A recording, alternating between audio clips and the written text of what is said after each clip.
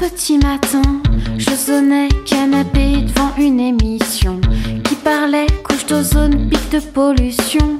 Quelle angoisse, que puis-je faire, petit citoyen? Et depuis ce beau jour, je trie mes déchets, emballage et carton dans la poubelle jaune. Faut regarder l'étiquette, ça demande des neurones. Si je me trompe, la gardienne va me détester. Depuis, j'ai bonne conscience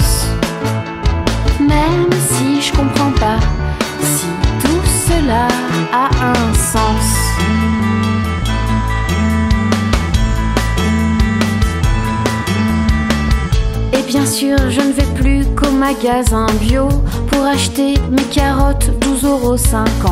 Même quand je suis en vacances en Poitou-Charentes, on se croirait à Paris et moi une bobo.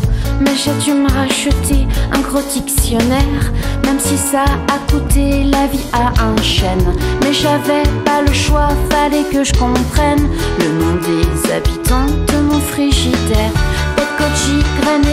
Et algues épeautre et bourrage, charbon végétal, propolis, guarana et gelée royale. Aïe, aïe, aïe, aïe, et depuis j'ai bonne conscience. Même si je comprends pas si tout cela a un sens. Moi je garde précieusement les bouchons plastiques. On m'a dit que les gens peuvent les transformer en fauteuil à roulettes pour handicapés. Ouais, comme poire recyclée, c'est un peu magique.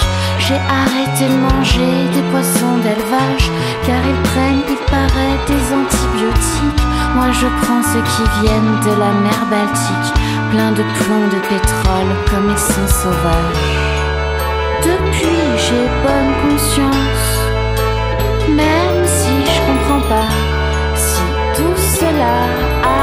Je